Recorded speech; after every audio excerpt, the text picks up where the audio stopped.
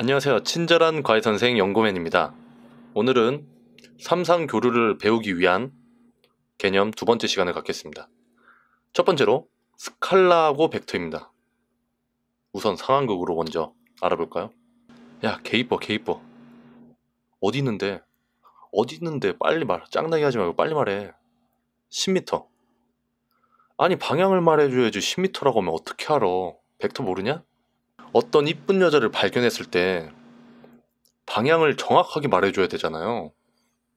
방향을 정확하게 말하지 않고 거리만 말하면은 그 여자의 위치를 알 수가 없어요. 그래서 빨리 얼굴을 봐야 되는데 볼 수가 없고 지나쳐 버릴 수도 있죠.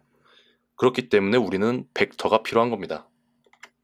스칼라는 크기만 가지는 양입니다. 크기만. 질량, 부피, 온도, 이동 거리, 뭐 부산에서 서울까지 뭐 400km.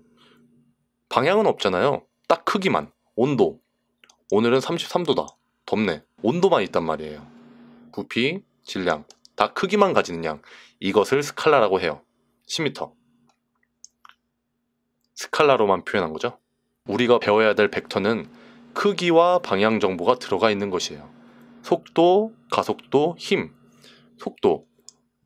앞으로 쭉 달린다. 가속도. 앞으로 쭉 달리다가 밑으로 뒤로 가다가 앞으로 쭉 가다가 방향이 있단 말이에요. 힘. 위로 누른다. 밑으로 누른다. 오른쪽을 누른다. 방향이 있단 말이에요. 크기와 방향 정보가 들어가 있는 것을 벡터라고 합니다. 10m. 아니 방향을 말해줘야지. 10m 앞은 너무 많잖아. 벡터 모르냐? 찾았다. 저기 있네. 예쁘긴 하네. 10m 11시 방향이라고 해줘. 11시 방향. 1시 방향. 남자들이 많이 쓰는 표현이죠.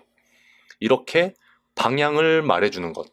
크기와 방향을 말해주는 것. 이것을 벡터라고 합니다. 벡터는 시작점이 달라도 크기와 방향이 같으면 다 같아요. 만약에 이렇게 있고 똑같은 크기랑 똑같은 방향 이렇게 XY 평면상에서 이거 두 개는 크기와 방향이 같다면 똑같은 거라고 말할 수 있어요. 영상 보고 오시죠.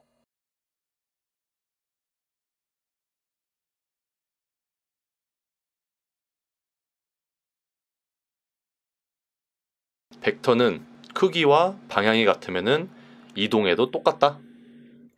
벡터의 합성입니다.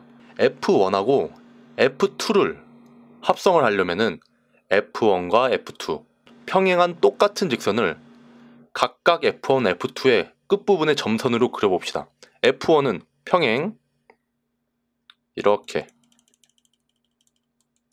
그려주고 동그라미 F2 평행 이렇게 F1 끝부분에 그려줍니다. 그렇다면은 평행사변형이 만들어져요. 평행사변형. 이렇게 마주 보는 편이 평행인 것. 이것을 평행사변형이라고 하는데요. 거기 대각선을 이어주면은 이것이 벡터 합성된 것입니다. 여기서는 F가 벡터 합성된 것이죠. F1과 F2 벡터가 합해지니까 F라는 벡터가 됐다. 여기 위에 화살표는 벡터라는 뜻이에요. 문제집이나 이렇게 책으로 볼 때는 방향이 어딘지 알 수 없잖아요. 그래서 이것은 벡터다 라고 표시하기 위해서 대문자로 표현하거나 여기를 하나 긋기도 하고 F를 화살표 취급을 하고 F에 점을 찍기도 하고 이렇게 벡터를 표현합니다. 벡터의 합성 다시 한번 말씀드리면은 평행한 거를 그려주세요. 평행한 거를 그려주고 대각선으로 꼭지점을 이어준다.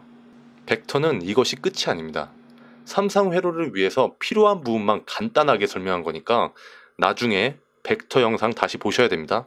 또 필요한 개념이 있으면은 그때 가서 벡터를 정리하려고 합니다. 벡터의 복소수 표시, 사치견산, 벡터를 오일러 법칙이라고 해가지고 다른 식으로 표현할 수도 있어요. 코사인하고 사인으로 그것도 배워야 되고 전기자기학에서 벡터 아, 많이 나오죠.